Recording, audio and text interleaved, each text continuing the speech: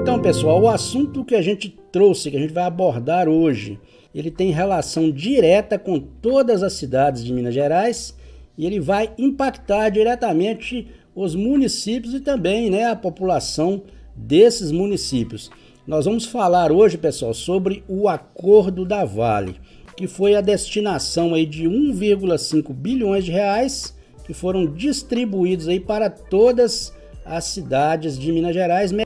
Para quem nunca ouviu falar sobre o acordo da Vale, pessoal, foi aquele acordo que foi costurado aí através do governo de Minas, do nosso governador Romeu Zema,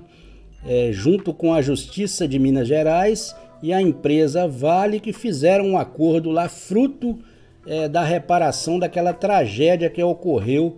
é, na cidade de Brumadinho, né, que vitimou aí centenas de pessoas, além de causar aí um dano ambiental muito grande aqui para o nosso estado. No ano passado já havia sido feito aí o depósito da primeira parcela para todas as cidades de Minas Gerais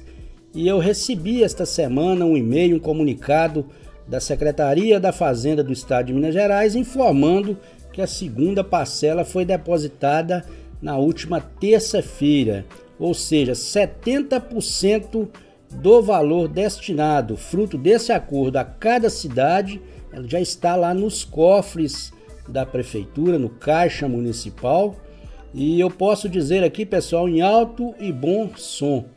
o prefeito ou prefeita, né, o gestor municipal hoje, que não estiver planejando, que não estiver executando